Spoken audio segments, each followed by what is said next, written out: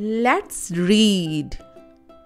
B E B E is a digraph.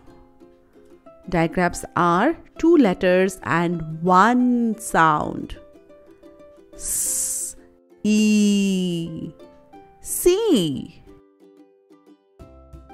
Say the sounds loudly and blend them to read.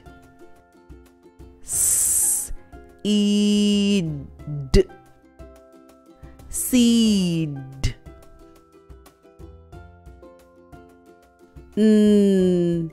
E D Need. Very good. Eat. Feet. D Eep Deep. J. Eep. Jeep. K. Eep. Keep. You are watching Phonics Reading YouTube channel and we are learning to read by blending. T, er, e, tree. You can say tr, e, tree.